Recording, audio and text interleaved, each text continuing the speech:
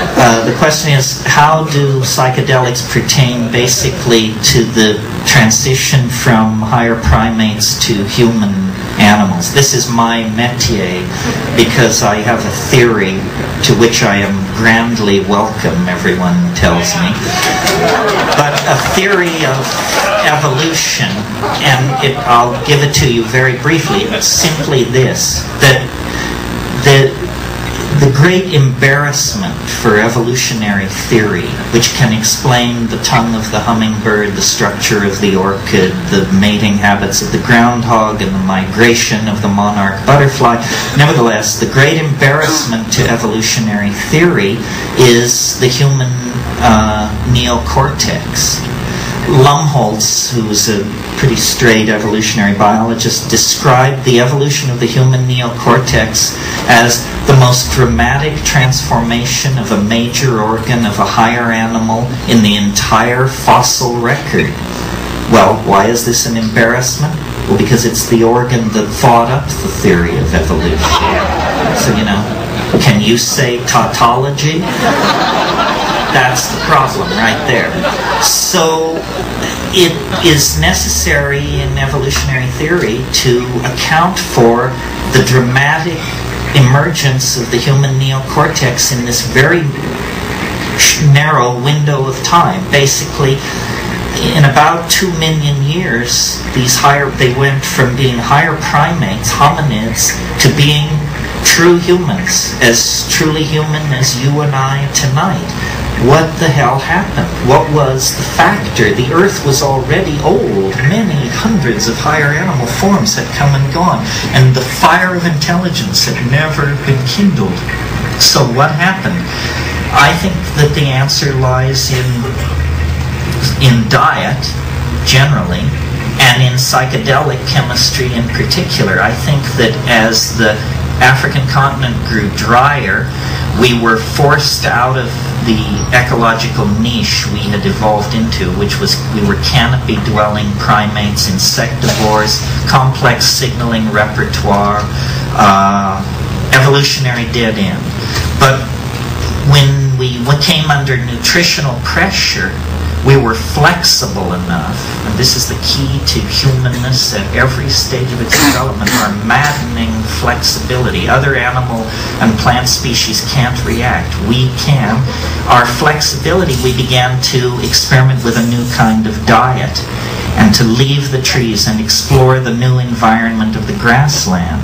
And evolving concomitantly in the grassland were various forms of ungulate animals, double-stomached animals whose manure is the ideal medium for mushrooms, coprophytic mushrooms, dung-loving mushrooms, many of whom produce psilocybin.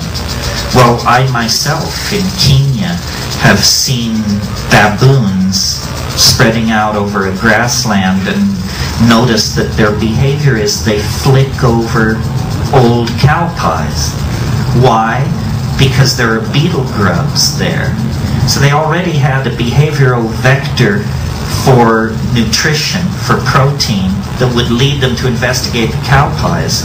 Well, in the Amazon, after a few couple of days of fog and rain, these psilocybin mushrooms, Stropharia cubensis, can be the size of dinner plates. I mean, in other words, you can't miss it. If you're if you're a foraging primate, you can't miss it. And the taste is pleasant.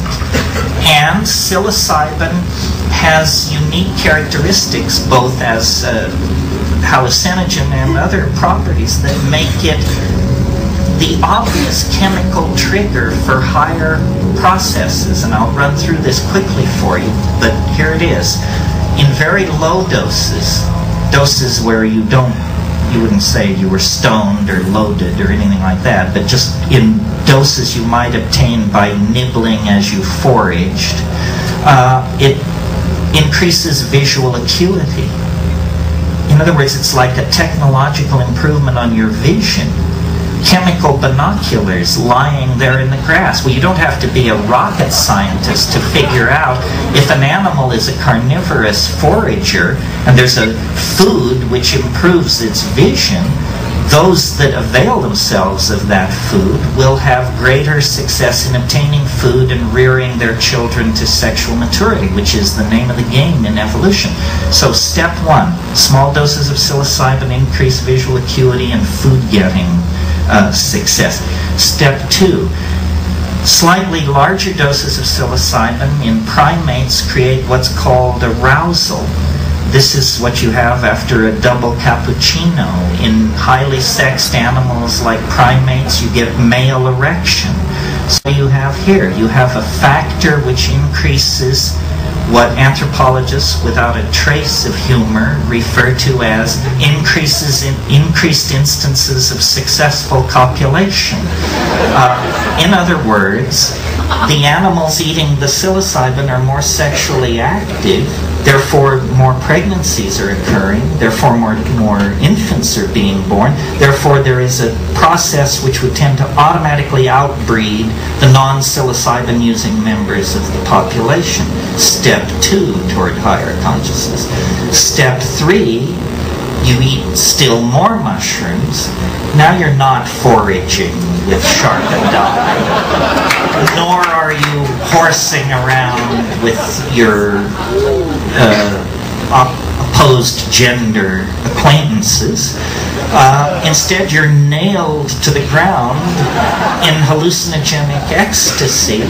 And one of the amazing things about psilocybin above, say, five or six grams uh, dried material is it causes glossolalia spontaneous bursts of language-like behavior under the obvious control of internal syntax. And I believe syntax existed before spoken language, that syntax controls spatial behaviors and body languages and is not necessarily restricted to the production of vocal speech. So there it is in a nutshell. We ate our way to higher consciousness. The mushroom made us better hunters, better survivors. It, among those in the population who used it, their sexual drive was increased, hence they outbred the more reluctant members of the tribe to get loaded. And finally, it created a, a kind of neuroleptic seizure which led to these downloading of these syntactically controlled vocalizations, which became the raw material uh, for the evolution of, of language. And it's amazing to me the the straight people, the academics, believe language is no more than 35,000 years old. That means it's as, as basic to human beings as the bicycle pump it's just something somebody invented 35,000 years ago. It's got nothing to do with primate evolution and, you know, the long march of the hominidae and all that malarkey. No, it's just uh, an ability, a use to which syntax can be put that previously had not been put. I think before language, spoken language, things were very touchy-feely and the wink and the nod carried you a great distance and, and uh, gestural communication was very high. That's why, and I should say this and then end, to me it begins and ends with these psychedelic substances. The synergy of the psilocybin in the hominid diet brought us out of the animal mind and into the world of articulated speech and, and imagination. And technology developed and developed, and uh, mushrooms were, you know, invade against, faded. There was migrations, cultural change. But now, having split the atom, having sequenced our genome, having taken the temperature of Betelgeuse and all the rest of it, we're now back where we started.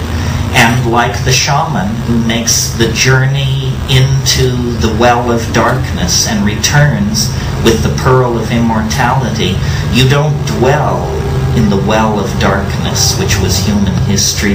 You capture the essence of the thing, which is the godlike power of the shaman smith, the technologist, the, the demon artificer, the worker of metals, the conjurer of spirits, and you carry that power back out of history, and it's in that dimension outside of history that you create uh, true humanness and true community. And that's the adventure that we are in the act of undertaking.